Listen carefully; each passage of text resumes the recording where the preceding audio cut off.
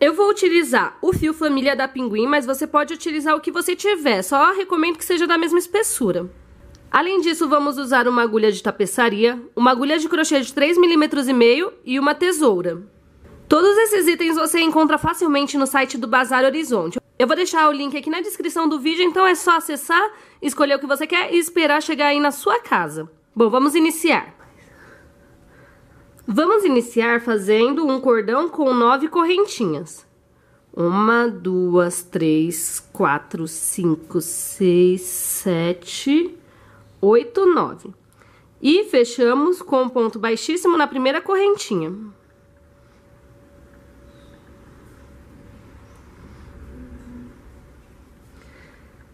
Uma correntinha para subir e vamos fazer um ponto baixo para cada correntinha, ou seja, vamos ter um total de nove pontos baixos.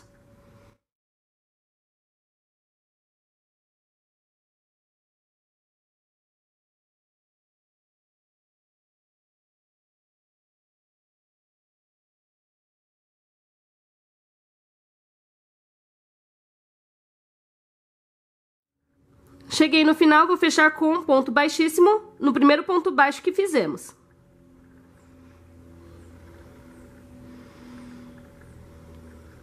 Agora, nós vamos fazer 39 fileiras iguaizinhas. Correntinha para subir, um ponto baixo para cada ponto da carreira anterior e fechando com ponto baixíssimo no primeiro ponto baixo da carreira. Isso por 39 fileirinhas. Eu vou fazer fora de vídeo porque vai ficar muito repetitivo, mas eu volto pra gente finalizar. Terminada todas as fileiras, nós vamos cortar o fio, deixando um pedaço maiorzinho pra gente poder costurar. Faço uma correntinha pra prender e vamos colocar o fio na nossa agulha de tapeçaria.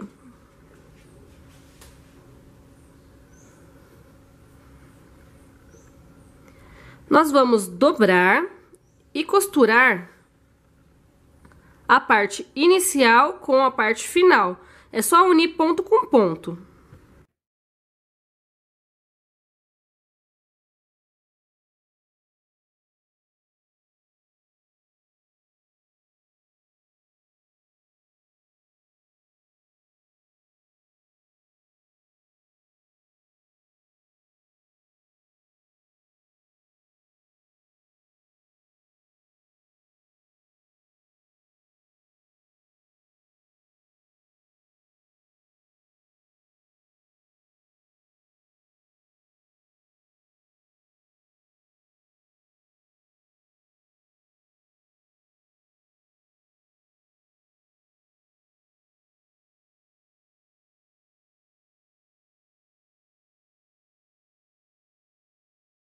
Cheguei no final, como temos esses dois fios, podemos dar dois nozinhos para cortar.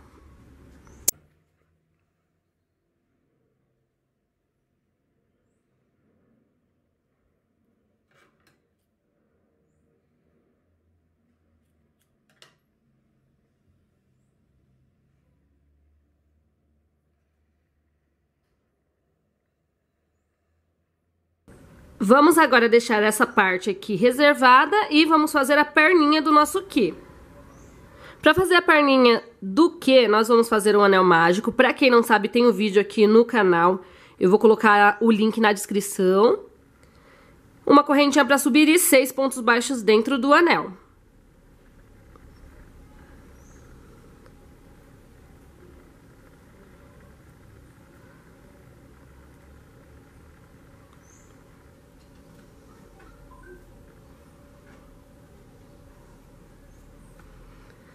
Feitos seis pontos baixos dentro do anel, vamos puxar o fio para fechar.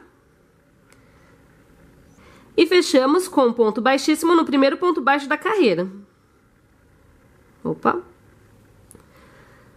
Segunda fileirinha, vamos fazer uma correntinha para subir. Um ponto baixo aqui nesse pontinho mesmo. Em seguida, dois pontos juntos. No próximo, só um ponto baixo. Em seguida, dois pontos juntos. Isso até o final um ponto baixo, em seguida, dois pontos juntos. Ficamos com um total de nove pontos nessa carreirinha e vamos fechar com ponto baixíssimo também.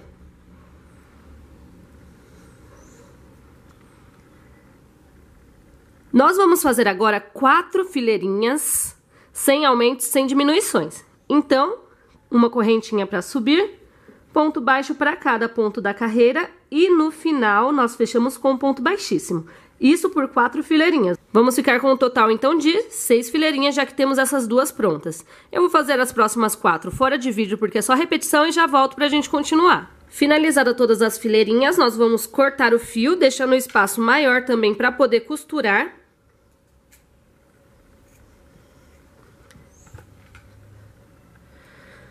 Fazemos uma correntinha só para prender e colocamos o nosso fio na agulha de tapeçaria.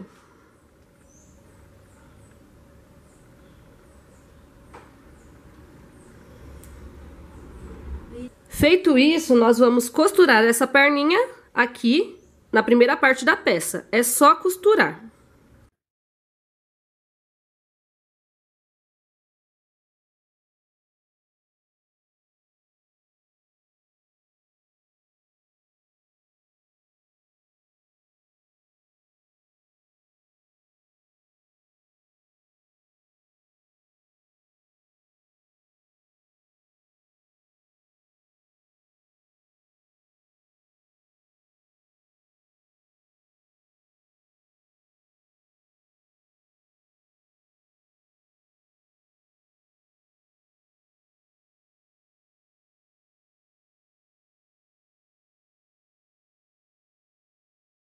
Feito isso, vamos fazer um nozinho aqui com a própria agulha. Passa o fio por dentro de qualquer lugar aqui, só para esconder, e vamos cortar.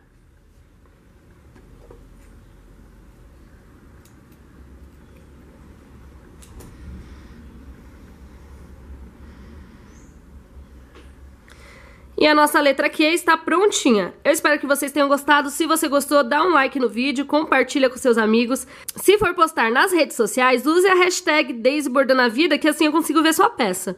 E é isso aí, pessoal. Eu espero vocês na próxima videoaula. Um beijo!